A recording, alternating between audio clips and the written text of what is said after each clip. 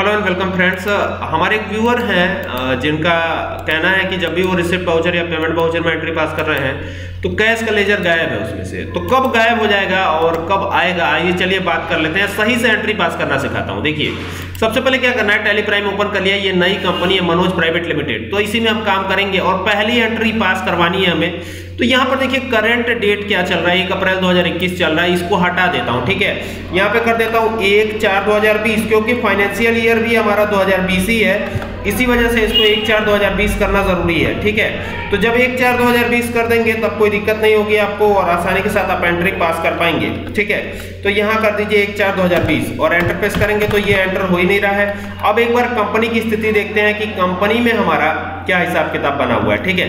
तो कंपनी को अल्टर करने के लिए यहाँ कंपनी पे जाएँगे और यहाँ से अल्टर कर लेंगे। तो आप देखेंगे कि कंपनी में भी हमारा जो है ये देखिए, एक अप्रैल 2020 हो गया है। यहाँ पर बुक्स बिगनिंग फ्रॉम एक अप्रैल 2020 ही है। ठीक है?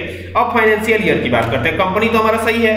कंपनी हमने देख लिया। ये प्रॉब्लम बहुत लोगों को आती है। तो यहाँ पर आप केवल जो है अल्ट एफ़ टू करेंगे तो ये आ जाएगा। तो अब देखिए पीरियड जो है आपका यहाँ पे गड़बड़ है। तो यहाँ पे लगाइए, एक, चार, दो हज़ार बीस और यहाँ पर दिया हुआ है टू अब यहाँ पे आ जाएगा अपने आप। इकतीस तीन दो हज़ार इक्कीस। ठीक है?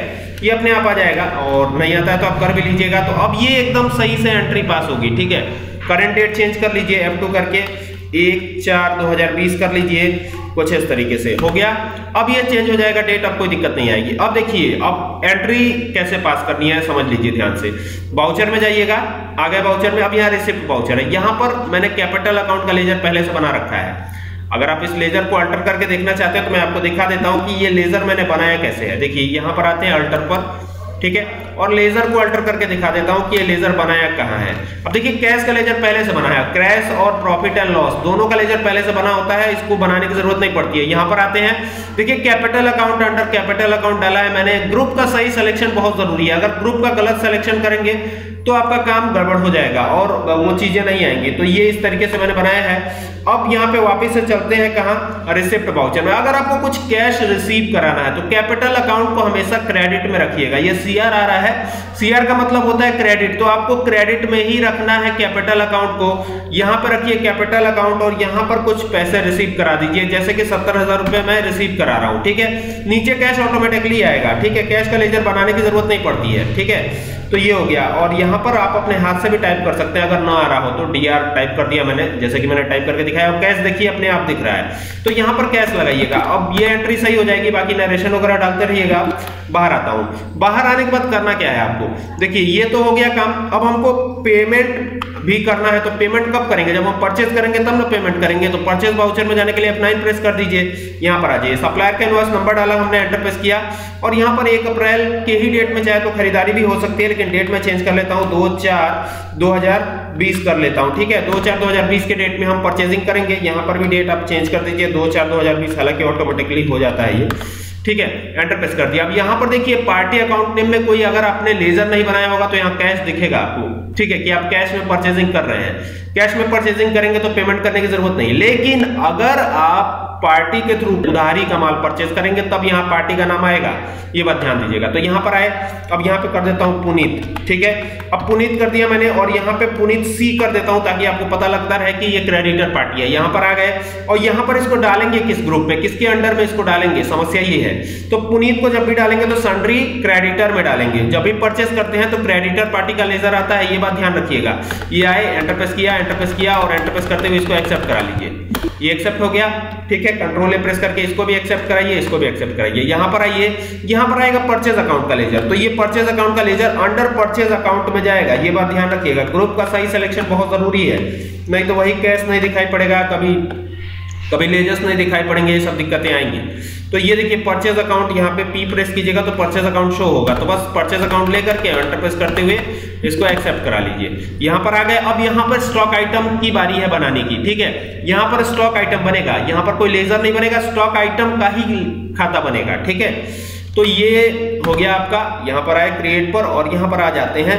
यहाँ पर आने के बाद मैं कर देता हूँ सेलो पेन ठीक है? ये लिख दिया मैंने सेलो पेन तो ये सेलो पेन का जो है, हम एक लेजर क्रिएट करते हैं और यहाँ पर आएँगे तो यहाँ पर कर देता हूँ मैं नंबर ठीक है? तो यहाँ पर लिख दिया मैंने एन ओ एस नंबर का सिंबल हो गया एनओएस यहाँ पर आएँगे फॉर्मल नेम कर देंगे नंबर्स ठीक है? ये कर दिया एंटर प्रेस कर देंगे नंबर्स लिखने के बाद नंबर लिखने के बाद एंटर प्रेस कर दीजिए आप कुछ इस तरीके से। और यहाँ पे एन प्रेस कीजिएगा ना तो एन आ जाएगा नंबर्स आ गया। एंड अब ऐसा तो है नहीं कि पेन डेढ़ को खरीदेंगे, ढाई को खरीदेंगे, पौने तीन को खरीदेंगे, एक, दो, तीन, चार, ऐसे ही खरीदेंगे ना। इसीलिए डेसिमल प्लेस ज़ीरो रखा है। एंटर प्रेस किया एंटर प्रेस किया एंटर प्रेस किया एंटर प्रेस करते हुए इसको एक्सेप्ट कराइए। ये हो गया। अब यहाँ पे आ गया, देखिए, ये कुछ इस तरीके से। क्वांटिटी में आपका आ गया। अब मान लीजिए सत्तर पैकेट आपने खरीदे, ठीक है? एक पैकेट पड़ा आपको कितने का? एक पैकेट मान लीजिए पड़ा बीस रुपए का। खरीद रेट बीस रुपए का पड़ा एंटर प्रेस किया, चौदह सौ रुपया यहाँ आ गया। आ गया ना? अब देखिएगा, ध्यान से। यहाँ पर कोई भी अभी जीएसटी नहीं लगा रहा हूँ। एंटर प्रेस करता हूँ एंटर प्रेस करता हूँ, आप चाहे तो जीएसटी भी लगा सकते हैं। ये हो गया। अब ये एक्सेप्ट हो गया, ठीक है? अब ध्यान दीजिएगा, अब जो परचेस किया आपने, उसको, उसके लिए आप पेमेंट करेंगे। ध्यान दीजिएगा, जब भी परचेस करेंगे तो पेमेंट करेंगे आप। तो यहाँ पर बाहर आ जाइए और यहाँ पे दो बार डी प्रेस कीजिए। देखिए, ये ये आपका हिसाब किताब है। अगर आपने डेट चेंज कर दिया हो और आपको ये डेट मालूम हो कि हाँ यही डेट में हमारा जो है एंट्री पास हुआ था तो आप आसानी के साथ ये भी कर सकते हैं। तो एक चार दो हज़ार बीस कर देता हूँ। तो देखिए, ये एंट्री गायब हो जाएगी। ये है ना? अब एक चार दो हज़ार बीस डेट चेंज किया मैंने। अब यहाँ से बाहर आइए एक बार। बाहर आ गए। अब देखिएगा आप तो यहाँ पे जाइएगा तो अब आपको वो एंट्री नहीं शो करेगी। दो बार डी प्रेस कीजिएगा ना तो भी एंट्री नहीं शो करेगी। मैं आपको दिखा भी देता हूँ गेटवे ऑफ़ टैली पे आके दो बार डी प्रेस कीजिए। ये कैपिटल अकाउंट वाली एंट्री है, ठीक है? वो वाली एंट्री नहीं है जो आपने परचेजिंग की थी। तो यहाँ पे डेट चेंज कर लीजिएगा। आपको डेट मालूम होना चाहिए किसी डेट पे आपने परचेजिंग किया है, ठीक है? तो चार दो हज़ार बीस, ठीक है? तो दो चार दो हज़ार बीस जैसे ही आप करेंगे ना तो यहाँ पे देखिए पुनीत सी वाला आ गया। यही था, ठीक है? अब देखिए, इसका हम करेंगे पेमेंट कैसे करेंगे पेमेंट देखिए, ध्यान से। यहाँ बी प्रेस करेंगे और जाएँगे कहाँ? पेमेंट वाउचर में। एफ़ फाइव प्रेस करेंगे। तो यहाँ पे आएगा डेबिट ठीक है? अब डेबिट आ रहा है तो पुनीत जो है, अब अब देखिए, पुनीत का कितना रुपया बकाया है? तो यहाँ पर आइएगा तो पुनीत सी का लेजर लगाइए। तो देखिए, यहाँ पे नीचे दिखेगा आपको कि चौदह सौ रुपए बकाया है। तो यहाँ पर पुनीत डेबिट होगा। ध्यान दीजिएगा, पुनीत जो है डेबिट होगा। ये चौदह सौ रुपए कर दिया आपने। और यहाँ पर अपने आप कर्सर जो है एजीएसटी यानी एडवांस अगेंस्ट रेफरेंस पे चला जाएगा, ठीक है? और वही बिल नंबर आपको शो हो जाएगा।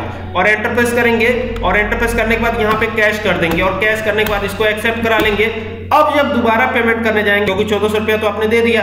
तो ये चक्कर है। इसी वजह से ये कैश और ये सब दिक्कत आती है। तो सही से एकदम बनाइएगा तो नहीं आएगा दिक्कत, ठीक है?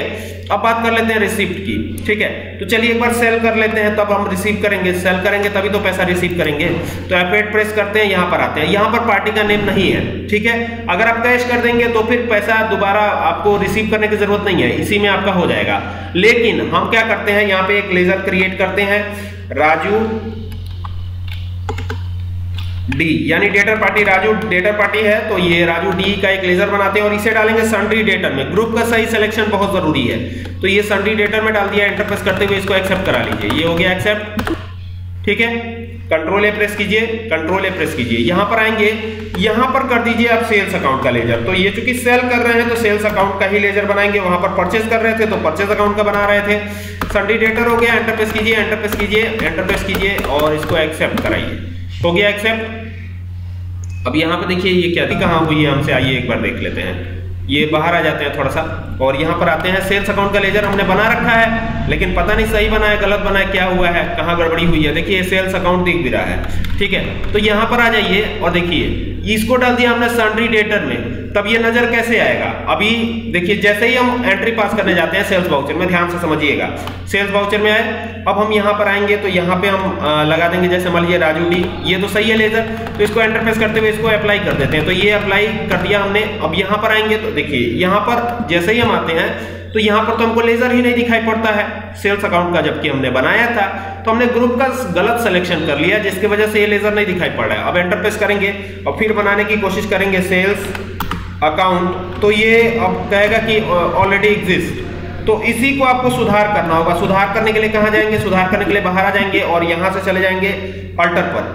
तो अल्टर पे जाने के लिए ए प्रेस कर दीजिए और यहाँ से लेजर पे आ जाइए। और हमको इसी को सुधार करना है सेल्स अकाउंट वाले लेजर को। एक छोटा सा मिस्टेक बहुत ज़्यादा दिक्कत कर सकता है आपको तो मिस्टेक ना करें, ध्यान दें, ठीक है? अब ये सेल्स अकाउंट में जाएगा, बस सेल्स अकाउंट कर दीजिए और आपका काम हो जाएगा, फिर कोई दिक्कत नहीं आएगी।